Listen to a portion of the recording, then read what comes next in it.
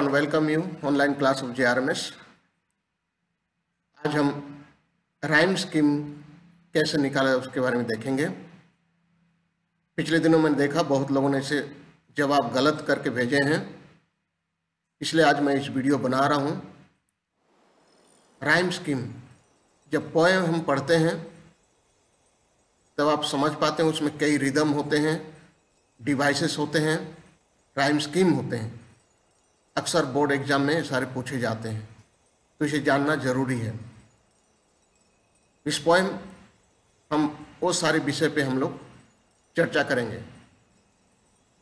आप poem rhyming board में देखे होंगे पोएम में जो पाए जाते हैं। और राइम स्कीम क्या होता है, उस समय नहीं बताया जाता है।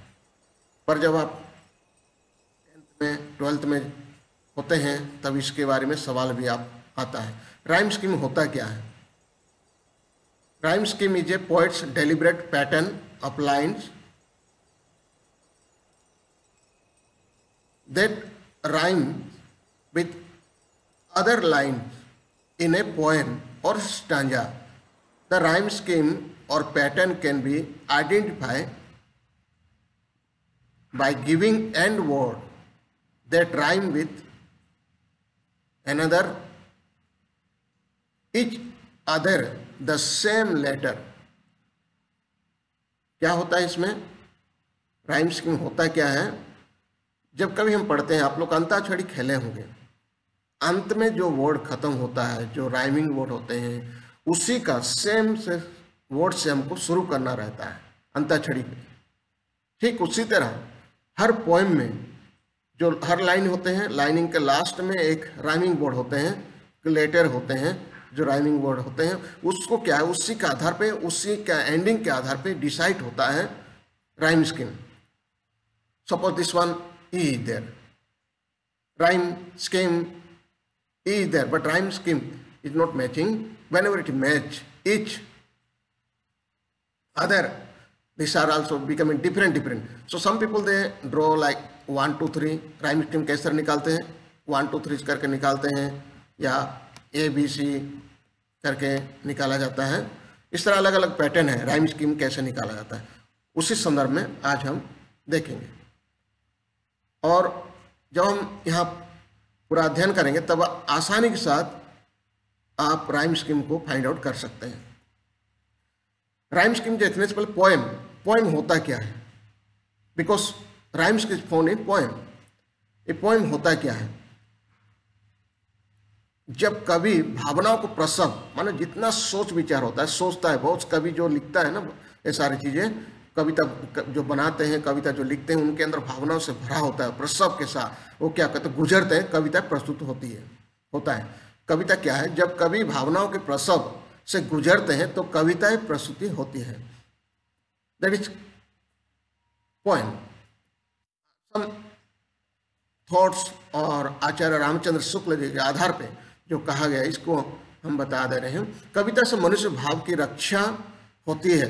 सृष्टि के पदार्थ, व्यापार विशेष को कविता इस तरह व्यक्त करती है। मानो वे पदार्थ या व्यापार विशेष नेत्रों के सामने नाचने लगते हैं। वे मूर्तिमान दिखाई देने लगते हैं। उनकी उत्तमता या अनुपता अनुत्तमता के विवेचन करने में बुद्धि से काम लेने की ज़रूरत नहीं पड़ती।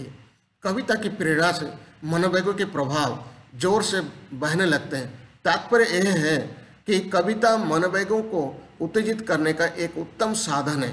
यदि क्रोध, करुणा, दया, प्रेम यदि मनोभाव के मनुष्य के अंतकरण से निकल जाए तो कुछ भी नहीं कर सकता। कविता हमारे मनोभाव को उच्छ्वासित करके हमारे जीवन में एक नया जीव डाल देती है। हम सृष्टि के सौंदर्य को देख कर मोहित होने लगते हैं। कोई अनुचित या निष्ठुर काम हमें असुहा होने लगता है। हमें जान पड़ता है कि हमारे जीवन कई गुना अधिक होकर समस्त संसार में व्याप्त हो गया है। एक कविता का अर्थ है जो आचार्य रामचंद्र शुक्ल जी के आधार पे। उन्होंने कहते हैं कि सारे चीज़ें को हम क्या करते हैं? बयान करते हैं, अपने शब्दों में इस चीज़ों को ढालते हैं। सो राइम स्कीम्स पढ़ने से पहले कविता कितने प्रकार के होते हैं? कविता there are different types of poems are there अलग अलग किस प्रकार के भाव में रहकर लिखे हैं, किस प्रकार कविता को प्रस्तुति करते हैं उस सारे का डिफरेंट टाइप्स दिखता है। पोइट्री ने इट्स ओन वे इसका अपने अपने वे है अपना अपना फॉर्मूला है फॉर्म्स है आर्टिस्ट क्या करता है एक्सप्रेस करता है, जो कलाकार है, उस फॉर्म में एक्सप्रेस करता है। There are over fifty different types of poetry पचास से भी ज़्यादा डिफरेंट टाइप्स ऑफ़ पोइट्री पाए जाते हैं। So popular poetries are there some of the popular poetry कुछ ऐसी विशेष जो बहुत प्रचलित है उस पोइट्री के बारे में देखेंगे कुछ इंक्लूड हाइकू इधर free verses sonnet and acrostic poem इसे देखेंगे कि जो पॉपुलर है इसको समझेंगे थोड़ा बहुत संक्षिप्त में फिर हम प्राइम स्कीम पर आएँगे। सो so, पहला हैक्यू पोएम हैक्यू पोएम क्या होता है? Haiku poems are three line stanza with a five seven five syllable ये क्या है? थ्री लाइन स्टैंडा है. Here you can see this is one stanza three line stanza three line है. तीन line है इसमें. This is three line stanza so this kind of poems are called haiku poems इसमें भी क्या क्या चीज़ को कभी एक्सप्लेन करता है? नेचर का ब्यूटी उसका सिंप्लिसिटी के बारे में जो कुछ पाया जाता है नेचर में वो सारे के बीच में एक्सप्लेन करता है। कभी उसे कहते हैं जो तीन लाइन में पाया जाता है उसको कहते हैं haiku point so next will see free verses point ये पॉइंट ऐसा है इसमें कोई रूल्स कोई फॉर्मूला नहीं होते हैं। जो free verse point are least defined. In fact, there are deliberately irregular जानबूझ के मैंने ऐसे कहा जाता है, इसको फ्री वर्सेस इसमें पूरा आज़ादी है, पूरा छूट है, कोई पैटर्न नहीं होता है, कोई उसमें फॉर्मूला नहीं होते हैं। और readers must work together readers क्या है उसको उस पर सोचना है, उसको काम करना है। Intonation and emotional pull simple this is मेरी one of the example is given here this is also this is poem this type of poem called free verse poem उसमें कुछ भी नियम का फॉलो नहीं होता है। So next will see sonnet. ये सोनेट एक पॉपुलर पोएम पोएम है। ये बहुत ही, मान प्रसिद्ध है। चौदह लाइन के होते हैं। All the William Shakespeare centralize sonnet the word sonetto is actually Italian for a little sound or song इस इटालियन शब्द है, जो विलियम शेक्सपियर ने इसको व्याख्या किए हैं। और जो साउंड है, क्या, इसका अर्थ क्या है? लिटिल साउंड थोड़ा सा आवाज़ थोड़ा सा गाना छोटा सा गाना। This form has graph poet by the heart of centuries actually sonnet जो है ना बहुत दिलों को छू गया था। सती सदी में it began as a fourteen line चार चौदह लाइन से शुरू होता। Poem written in Iambic pattern, pentameter, although flourishes have been made over time, the general principle remain the same. हालाँकि इसमें बहुत सारे रहता है, लेकिन प्रिंसिपल जो सम, सब बना रहता है एक साथ। नेक्स्ट एक्रोस्टिक पोएम ये क्या होते हैं? Also known as a name poem इसको नेम पोएम भी जाना जाता है। जैसे हर पोएम में एक नाम होते हैं। स्पेल आउट नेम्स जैसा पोएम जब लिखते हैं, हर लाइन में, हर फ्रेज में, हर वर्ड में, एक नाम से संबंधित, मान लीजिए किसी वस्तु संबंधित हो, व्यक्ति संबंधित हो, किसी भी संबंधित हो।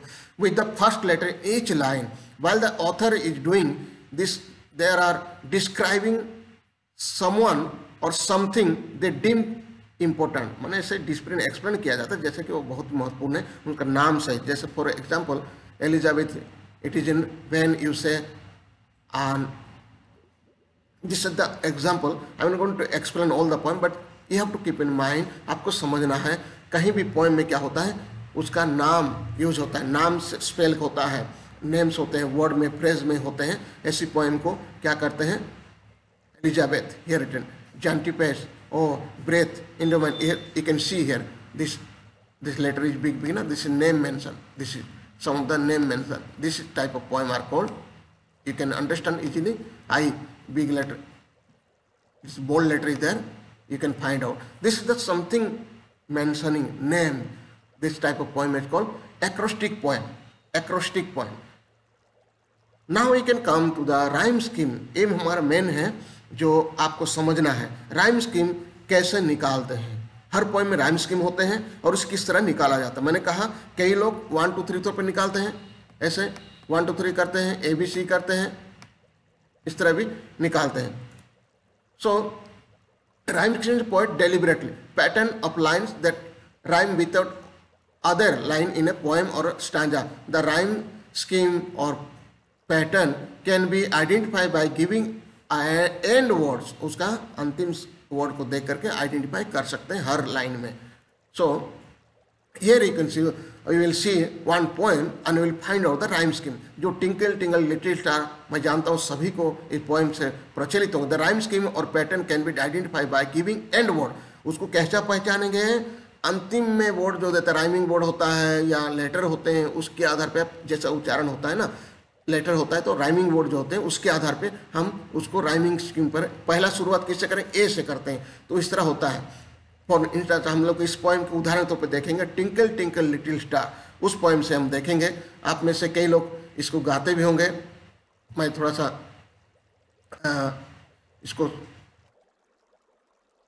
सुनाने का चाहता हूँ। टिंकल टिंकल लिटिल स्टार जो आप में से कई लोग इसको बहुत लोगों ने इसको समझते होंगे कि twinkle twinkle little star how I wonder what you are ऐसे पोएम जो छोटे बच्चे समय से ही के क्लास से हम लोग शुरू कर लेते हैं। तो इसकी राइमिंग किस तरह निकल जाए suppose this one see twinkle twinkle little star star how I wonder what you are see both rhyming board is matching this are are are so this will be co, A, and this also will be A.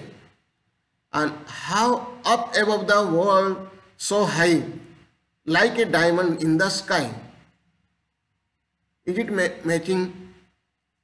Uh, see. Now you can hear the sound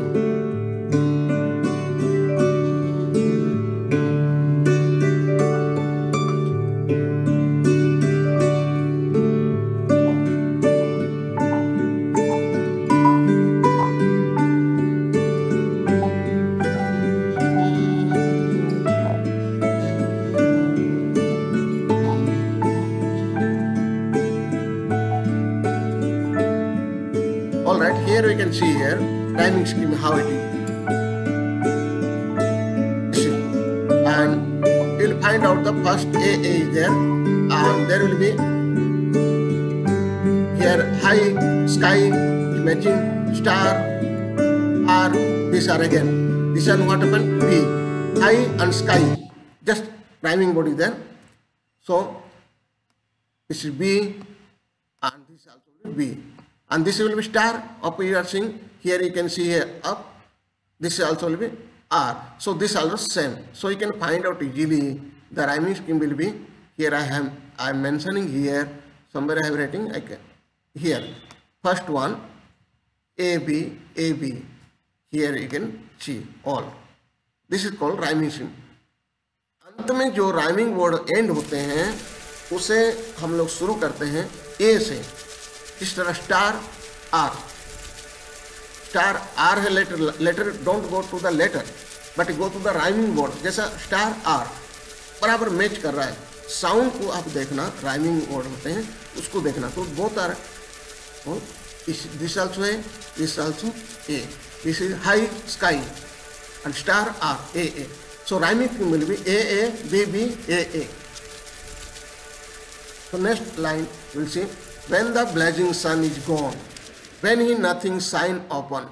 This see is matching, gone, upon, light, night, these are matching. These are star, are, these are matching. But these are, try to figure out this one, how it will be. The rhyming in, in the second stanza is CC on upon C and this one also both line CC and this one will be light night D C के बाद D both are DD and this one will be first we have seen first जब हम देखे थे पहले हम देखे थे स्टार आर क्या था ए था A A so A This also will be A. A. So, this is rhyme scheme is what? This one there